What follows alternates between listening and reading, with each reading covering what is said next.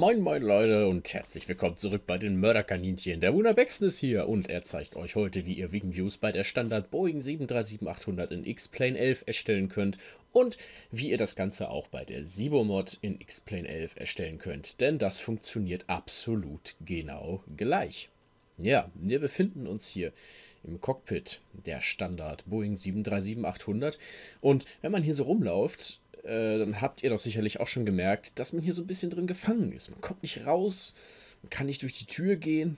Und wenn man dann hier die Tür, die man im Übrigen auch nicht aufmachen kann, ne? wenn man dann da durchguckt, dadurch, dann sieht man auch ähm, das Flugzeug, das ist ja gar nicht richtig modelliert, das hat ja gar keine Kabine.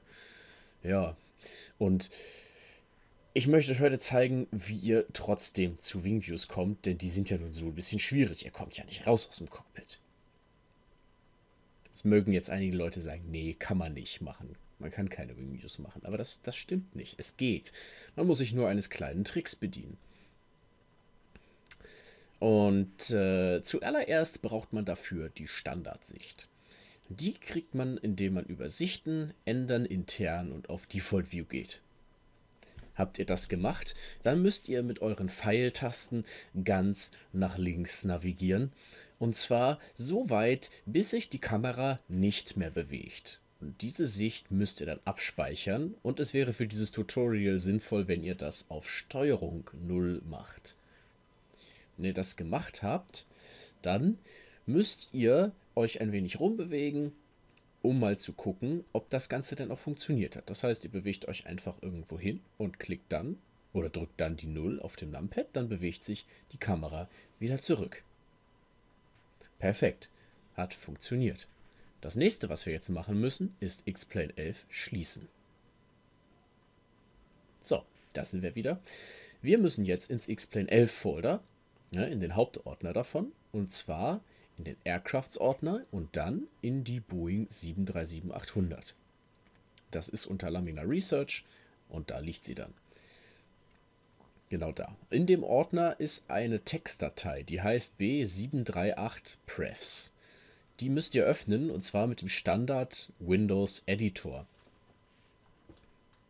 Da kommt dann das hier bei raus.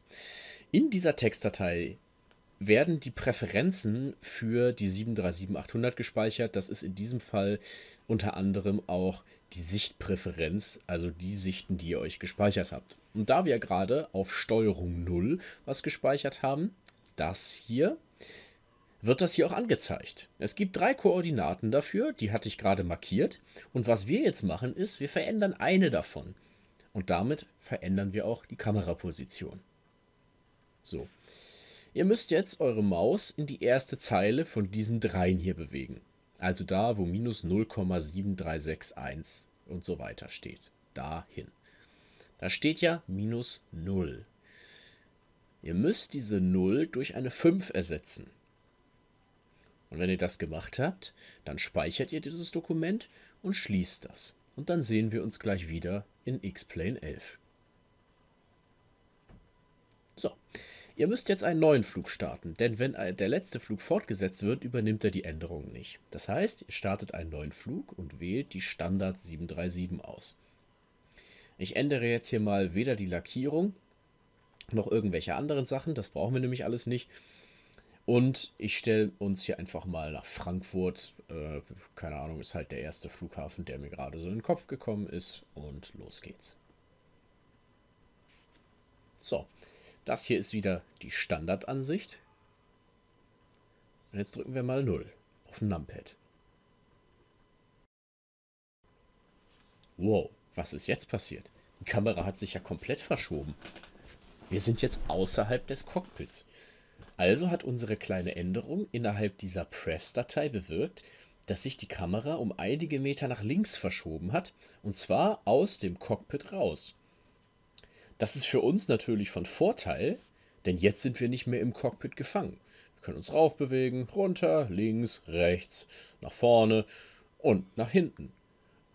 Und ratet mal, genau das gibt uns jetzt natürlich auch die Freiheit, uns irgendwo hinzubewegen mit der Kamera, dann da die Sichten abzuspeichern und die dann immer wieder aufzurufen.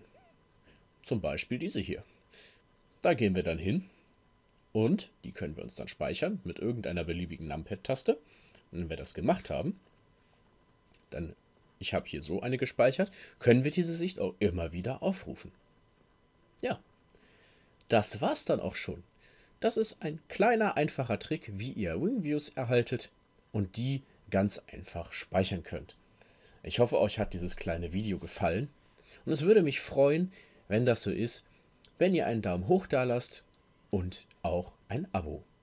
Vielen Dank fürs Zuschauen und bis zum nächsten Mal, euer Huna Bexton.